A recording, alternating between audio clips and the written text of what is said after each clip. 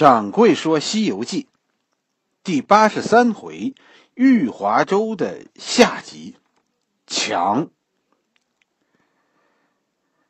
九灵元圣，是吧？上一回咱们讲了一半，这一回咱们继续啊，把这个故事讲完。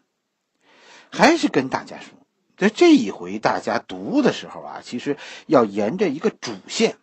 哎，就是这一回的劫难是源于孙悟空心中的自我膨胀，哎，表现出来就是张扬，哎，咱们俗话就叫呃臭显摆，是吧？吴承恩的这部《西游记》，咱们讲过，他是为《心经》做注释，哎，他的故事基本上都是说，哎，从一个侧面证明一种空，整体来说，九九八十一难。就是《心经》的一个主题，用你一生所遇到的所有事情，哎，用这种穷举的办法证明一个佛家理论的起点。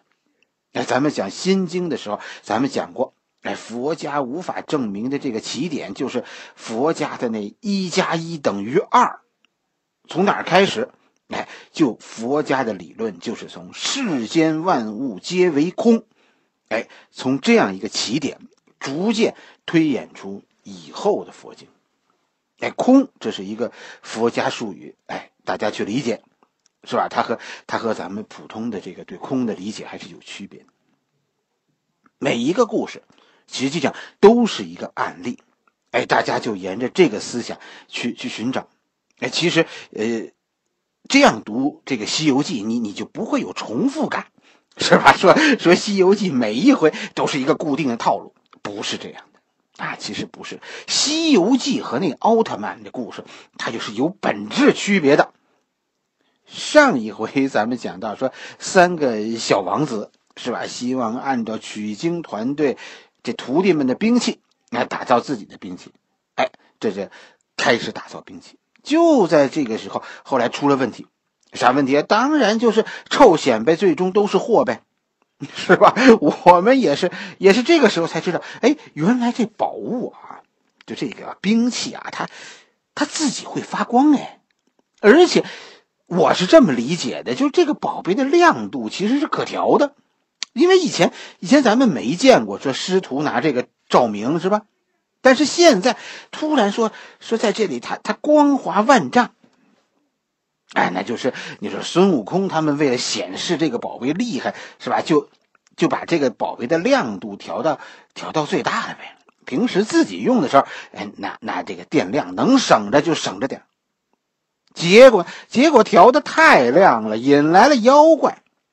妖怪的名字很奇怪，这一回的妖怪的名字你听着啊，他叫他叫豹头山虎口洞啊里边的金毛狮子。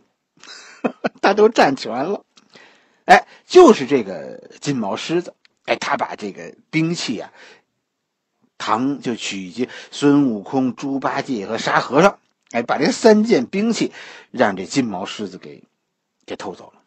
第二天，是吧？徒弟们发现兵器丢了，啊，就是丢了兵器，那就那就查呗。这一段啊。大家注意看一个很细节的地方，其实其实这个地方写的，吴承恩是特意这么写的，就是这个地方的国王和妖怪之间到底是是什么关系？显然那电视剧是讲错了，是吧？因为在书里，国王并不知道这个妖怪，大家记得这个事儿啊，这个妖怪不认识国王，国王也不知道这个妖怪，只是听说啊有，但是从来也没有见过。这是不是说明，其实其实这句话是不是说明这个妖怪不是坏人呢？至少他没有危害人间，对吧？啊，那那那将来你再说那个妖怪的老大，是不是这个妖怪老大能能带出这样一批妖怪来？是不是老大应该也是也是一个挺好的怪啊？啊，都说妖怪是土匪，但是这个地方的土匪他不扰民，啊，甚至于这里的人都不知道有这股土匪的存在。你说这是一股什么土匪呢？哎，你你只要知道，《西游记》中妖怪吃人那是天经地义。为什么这么说？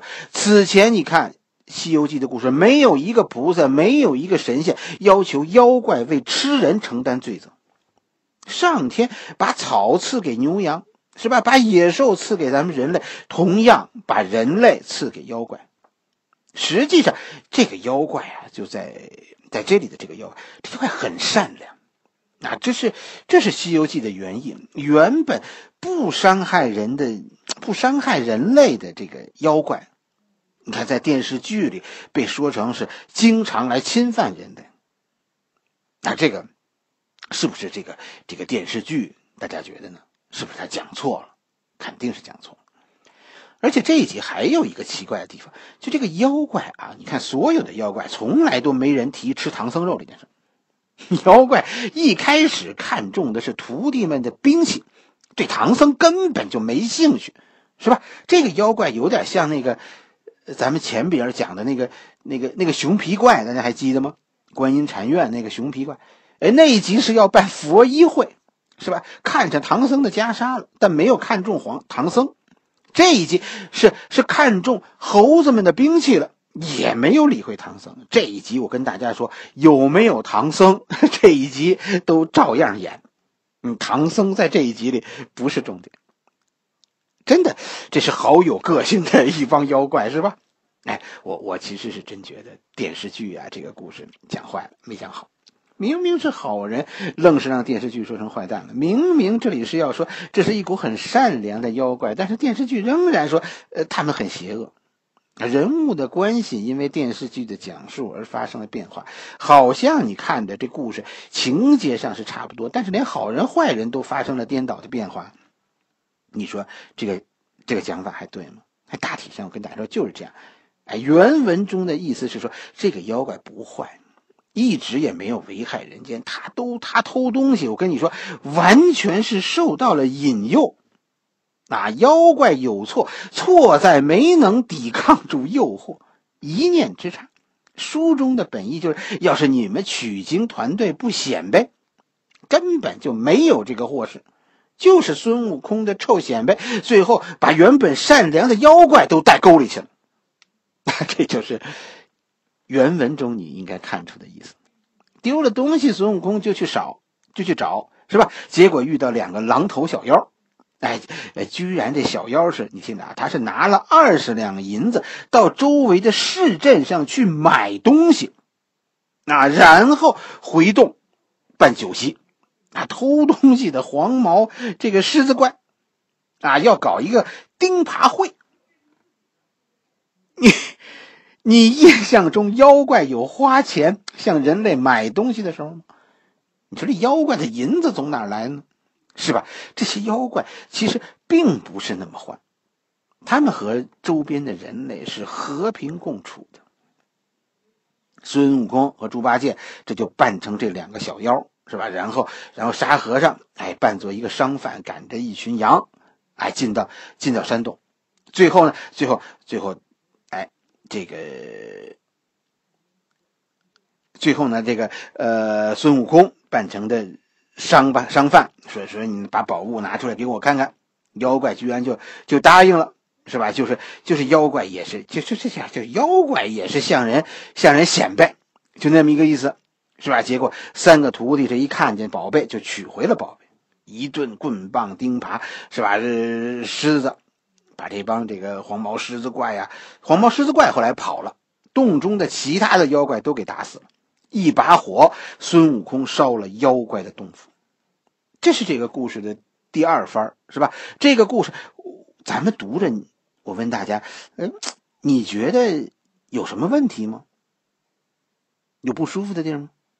我们读着不觉得，为什么呢？因为《西游记》到现在为止，好多故事都是这么收场的，这有什么不对吗？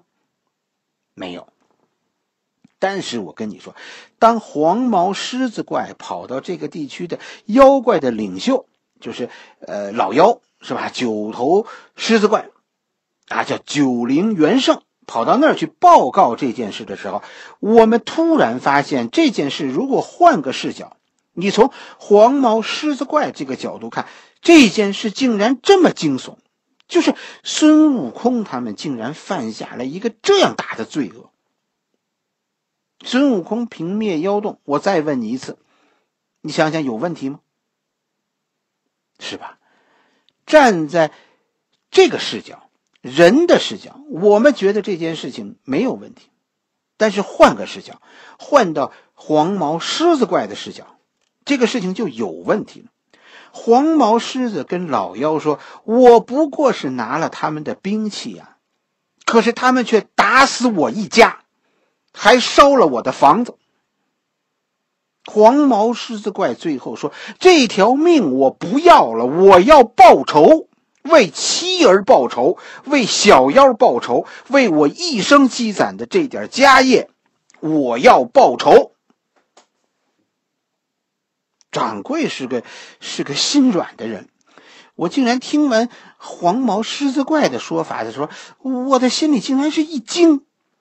这一路打死那么多妖怪了，其实有谁问过这样一句话呢？妖怪有罪，但是是死罪吗？没有人问过，为什么？因为原本就是这样一个世界，强者横行，这一路都是这样。今天黄毛狮子怪这么一说，哎呀，原来妖怪也是一肚子委屈啊！我们突然一想，似乎真的这件事有问题。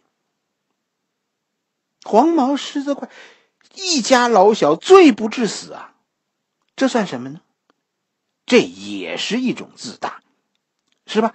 这就是孙悟空心中的自大。我厉害，我就可以横行。这也是取经团队的自大，对吧？我们实力强，我们就可以决定别人的生死。其实你细想，孙悟空他们捣毁人家的洞洞穴、洞窟，是吧？对对，妖怪们实施灭门。这和这和屠城有什么不同呢？我们哭诉别人屠城的时候，可轮到我们自己，这就叫斩草除根吗？当然，在这里，吴承恩并不是说这件事的是非，他也没有，也没有说这里边的冤冤相报，他说的是自大。这件事从始至终都是围绕着这两个字“自大”，是吧？这件事因为臭显摆而起，但是现在因为自大，竟然对弱者，我们眼中的弱者，我们竟然对他们实施灭门。矛盾现在被激化了。实际你看，这这这都是我们心中的那点那点自大惹的祸，越惹越大。九灵元圣就是这个地区妖怪的领袖，是吧？九头狮子怪。这个我跟大家说，这可能是《西游记》当中最厉害的一个一个妖怪了。厉害到什么程度？双方这一战，是吧？我们根本就不知道这老妖有多厉害。从始至终，这个老妖我们也不知道他能力的上限在哪，是吧？第一战，老妖都没有出手，只是手下这帮小妖去和孙悟空、猪八戒、唐僧对打。结果这一战，取经团队虽然抓住了敌将两员，但是猪八戒被擒。第一战，第二战，孙悟空和沙和尚抓住了老妖的六个部将，取好像取得大胜。就是说，甚至于那个前前文书的那个黄毛狮子怪，在这个时候都被打死了。但是老妖抓走了师傅唐僧、国王和三个王子。第三战是老妖亲自出手。出马，一上来其实就根本就还没过招，一个照面，老妖一口咬住了孙悟空，另一口咬住了沙和尚，九个头，是吧？这只用了两个就把这兄弟兄弟俩全活捉了，就没照面没打。大家注意，老妖在这儿没有使法术，没有使宝物，甚至没有使兵器，甚至于书里写了，老妖都没穿盔甲。轻描淡写，一招制敌，完全没有还手的机理，是吧？完全不费力气对付孙悟空，真的就比拍死个苍蝇还容易。拍苍蝇你还得瞄，还得等它落地呢，是不是？可老妖抓孙悟空完全不用。实际上，我跟你说，这么写是是有用意的，是吧？这么厉害的老妖，大家想过吗？这这妖怪写的比如来佛祖如何呀？如来还得把孙悟空骗进手心然后一翻手，是吧？哎，把毫无准备的孙悟空压在山下。这老妖呢？这里其实啊，我跟大家说，掌柜觉得吴承恩的意思是什么呢？他是说你的自大呀，最终一定会遇到一个更强大的妖怪。你以为你牛，到处横行啊？总有一天 你会遇到一堵墙，把你撞得粉碎。可是你一你这么细一想，这天下哪有撞人的墙啊？是吧？不都是你不知死活往墙上撞吗？下边发生的事情就就很搞笑了，是吧？妖怪都没有提吃唐僧肉这件事儿，是吧？只是只是说理。然后叫小妖用柳条责打孙悟空，这里特别强调了是用柳条，哎，这这是有原因的，这有所指啊。一会儿咱们咱们说到这个妖怪的主人的时候，我们再说为什么是柳条。半夜，是吧？妖怪打累了睡觉了，孙悟空这才挣脱绑绳跑了出来，开始解救，哎，这次唐僧师徒，但是。只来得及放下了沙僧，正要解脱猪八戒的时候，突然妖怪惊醒了。孙悟空怎么做？孙悟空是夺路而逃。沙僧写的特妙，沙僧还没来得及跑，书里说沙僧被妖怪一把摔倒，然后捆了。这你看这沙僧，这就这就完全不是不是对手。沙僧不弱，是吧？但是但是是妖怪强，在妖怪面前一回合都没有。因为沙僧还没来得及出手，就已经被打倒了。我们实际上到现在都不知道妖怪到底有多厉害，是吧？因为包括孙悟空到目前为止，其实故事中也就是这样，包括猴子，谁也没有还过手，就没这个机会。你就说妖怪有多强大，这堵墙 够厚的。妖怪确实强大，是吧？强大到什么？强大到连这一集的土地。我跟你说，土地这是咱们儒家中的儒教中的大神，其实是是吧？这一集连咱们自己的神、本民族的神土地爷都站在妖怪那一边。在这一集里，是唐僧身边的六丁六甲和那一众护法天神，他们抓住了土地爷，带到了孙悟空面前。在这一集，有关这个妖怪的情况，不是土地爷来报告的，是是孙悟空审问审出来的。啊，这个妖怪九头狮子怪号称叫九灵元圣，原来是太乙真人的坐骑。这这太乙真人是谁？《西游记》里好像对这个太乙真人的戏份不多，是吧？但是跟大家说，在这个《封神榜》里，这个太乙真人啊是那个哪吒的老师，就是你看动画片里那个莲花台上那白胡子老头。太乙真人啊，他的全名叫太乙救苦天尊。实际上，咱们汉家，就是说这个佛家和道家呀，很大程度上是是相通的。佛和道是相互融合的，并不是说谁战胜谁，谁为主，谁为辅，是吧？咱们一贯讨论的说谁化谁，其实都不存在，都不是。这就如同我们咱们汉民族和少数民族的融合。这是一个，这是一个相互的过程。你中有我，我中有你。你要非拉一个等式，一个算术，用数学来表示这件事就是你加我等于我们，我们就等于今天的我。你比如说，其实这太乙真人，这就是道教中的观世音菩萨。咱们中国绝大多数地区现在都是拜观音的。是吧？就佛教来说，它都是拜观音的。但是跟大家说，唐朝的观音和印度的观音是很相似的，和我们今天咱们汉人拜的观音区别很大。我们今天的观音菩萨是经过汉化的。其实跟大家说，我们拜的观音就是道家的这个太乙真人。啊，从从莲花座到净水瓶，到到柳树枝，咱们刚才前面不是提到柳树枝吗？到救苦救难、有求必应这些形象，跟大家说，在唐朝都是属于太乙真人的，而在那个时候，观自在菩萨还是一个讲师。但是后来，观音菩萨取代了太乙真人。哎，以前在唐朝，普通人遇到问题是念诵太乙真人的法号，就是太乙救苦天尊，这样就会有有神来保佑你。后来变成了念观世音菩萨的法号，哎，就能救苦救难。问题是，先有的太乙真人，后有的现在的观音菩萨。观音的形象和太乙真人高度趋同。到现在，大家都知道观音，但很少，很少有人在在念诵太乙真人的法号了吧？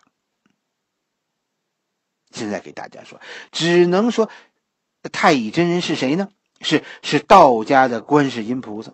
我这么说一说你就懂了，但是实际上这句话不对，因为说反了，是观音菩萨是道家的太乙真人，这才是这件事的顺序。咱们现在的观音菩萨是是从太乙真人那儿演化来的，佛家和道家一千年来始终都在争论谁是本源，谁是主流。观音菩萨。是吧？这是这是佛教中的菩萨，但是中国的观音菩萨显然这是这是受了道家的影响影响，对吧？这就是童话，宗教的童话。你你是更像你爸爸，还是更像你妈妈？这这很重要吗？是吧？你有没有觉得这也是自大惹的祸呢？咱们大汉民族啊，大汉大汉族主义是吧？哎，就是这样一种自大。我跟大家说，每一种自大最终。都一会被一堵墙撞得粉碎，是墙撞你还是你撞墙？这其实从后果看都是一样的。但是如果你明白是你往墙上撞，也许你还有救。反正这就是融合，宗教的融合，民族的融合。大家有没有注意到？是吧？孙悟空，哎，到了太乙真人家里，他表现出来的恭敬，没错，必须的，肯定得很恭敬。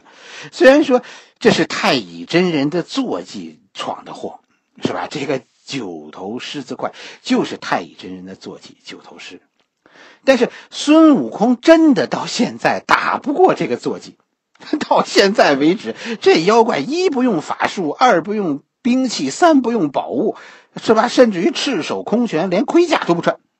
孙悟空拿人家现在是一点辙都没有，到现在就没有机会说孙悟空说使出个一招半招的。现在不客气点说，是吧？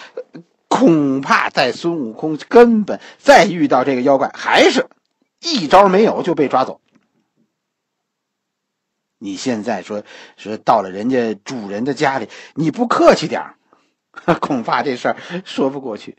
取经团队的自大来自他们强大的实力，但是现在这份自大呀失去了根本，而且这一战最特别的是，就是是非很清楚，妖怪是有错，是吧？但是妖怪不是为了吃唐僧，妖怪和孙悟空打完全是为了复仇。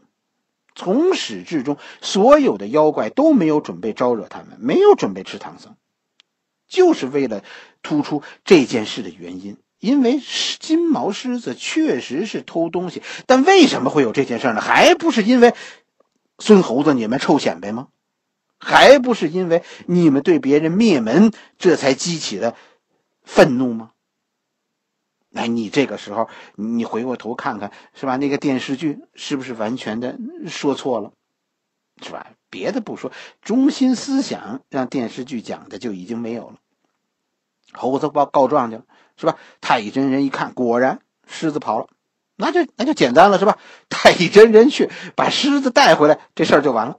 哎，最后这个故事就和以前一样，是吧？这个这个具体的过程咱们就不讲了，是吧？哎，最后妖洞被烧了。那个六个被俘的妖怪，前面不是已经抓了六个妖怪了吗？那六个妖怪都被杀了，是吧？哎，孙悟空、猪八戒、山和沙和尚在这儿住了一段时间，教好了那三个徒弟，就是国王的那个那个三个三个儿子，哎，师徒继续上路取经。这一回其实吴承恩刻意安排了这样一个妖怪。是吧？给取经团队也给我们大家伙上一课，就是自大惹祸呀，是吧？自大源于自身的强大，但是自大之路的尽头都是一堵墙。到底是墙撞碎了自大，还是自大撞到了墙？你说呢？是吧？好好读读这个故事，我们心中的好些个叫叫什么叫正义，有时候确实是使错了方向的。《西游记》其实，呃，这是越来越接近尾声，是吧？很多故事我看到很多很多评价都是说，写到这儿的时候，这些故事越来越平淡。但是其实你没看懂。在这些故事后面是越想越深刻了，就好多东西已经变得怎么说呢？就是说跟论文一样，写到这个时候，他已经变得不再是向你宣讲什么，不再是向你证明什么，而是而是有点深入挖掘，就是就是怎么说，就是反思的那个那个意思了。吴承恩开始反思我们做的很些很多事情了，哎，大家要。要再注意一个细节，这一回和下一回，最后妖怪的命运都是粉身碎骨，是吧？其实，其实这背后都是说这是深仇大恨，灭门屠城，已经不能发泄这种这种心中的愤怒了。哎，就这个意思。